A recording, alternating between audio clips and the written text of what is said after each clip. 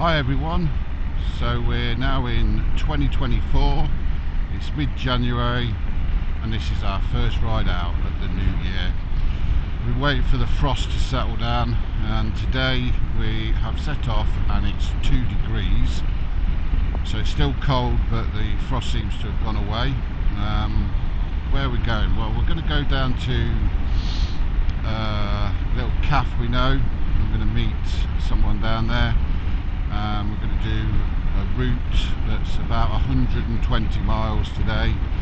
It sort of goes round Warwickshire, Leicester uh, comes up through the back roads in Coventry.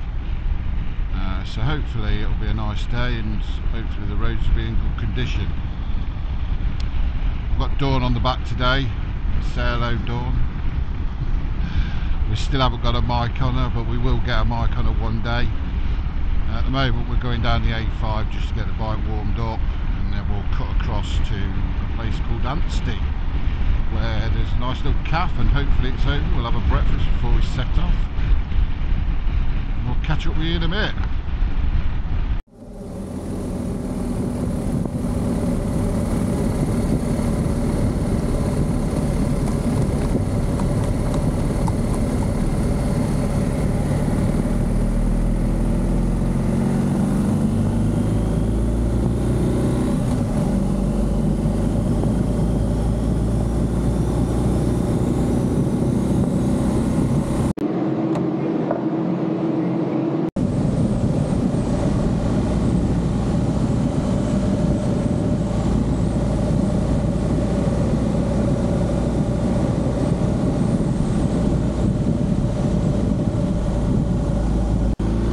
So Makings Cafe that we've just been to. Uh, the original one, which was Nelson's Cafe, was shut, even though the website said it was open today. But nevertheless, I'll be adding that one to the list because it's a nice little cafe. Breakfast was great, we weren't busy, and I'm guessing the summer it's going to be a nice view because you can sit outside and look out over the lakes. We're now off to uh, Rugby. It's about 55 miles on the route we're doing. Um, and when we get there, we're going to stop for a cup of tea. Because I'm not being funny, it is freezing today. When we set off, it was 2 degrees. It's risen up to 4 degrees now. But that wind chill factor is definitely kicking in. And I've got uh, two merino wool base layers on a long sleeved t-shirt. I've got a Klim Zephyr underneath my main jacket. I brought my puffer jacket with me, but I'm hoping I don't need it. Uh, Dawn, she's got her Keis heated jacket on, so she'll be sitting on the back, lovely and warm.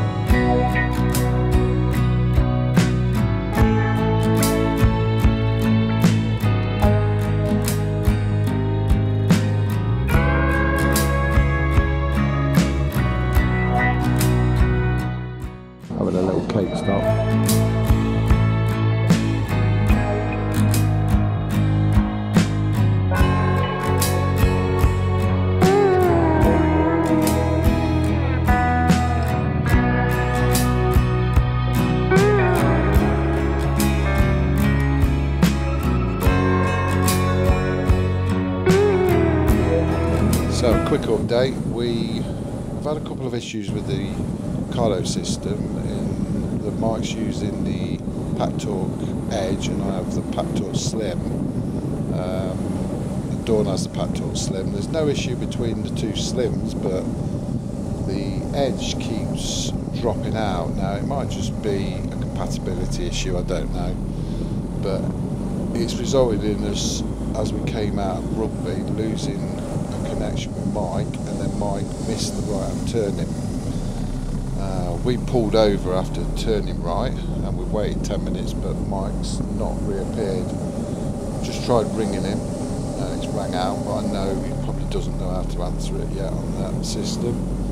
So we're going to carry on this on this road. It does eventually pick up the road that Mike's on and hopefully we'll end up meeting up. If not, we're just going to ride the last 30 miles home and we'll pick up and find out and probably have a laugh about it. We'll speak to Mike later.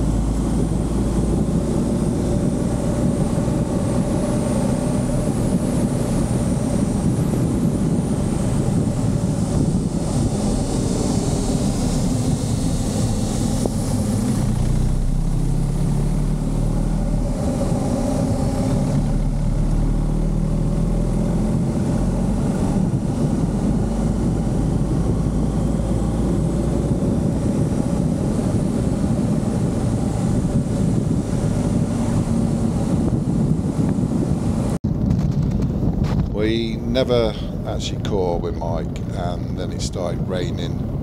Uh, so we've now decided that we're going to start heading home. Um, we ended up getting caught by the dreaded HS2 uh, road closed sign, and then had to take a detour down some very muddy roads. Uh, the bike is absolutely filthy now temperature's dropping rapidly. We've got about 30 miles left to do. And I can't wait to get home and thaw out. We've done about 155 miles today. So the core temperature is pretty low in the body, so it's going to require some food and some beer and some eating.